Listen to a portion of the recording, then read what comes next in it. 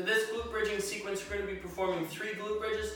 The third one we hold for a three second isometric hold. So what I'm going to do, I'm going to get down into my glute bridging stance, feet flat on the floor, or you can dig through your heels, whatever helps you to engage your glutes the most. Hands are either out at the side or on your hips. I'm going to drive up one, two, third one, three, two, one, and hold. One, two, third one, three, two, one, hold. One, two, third one, three, two, one, hold like so.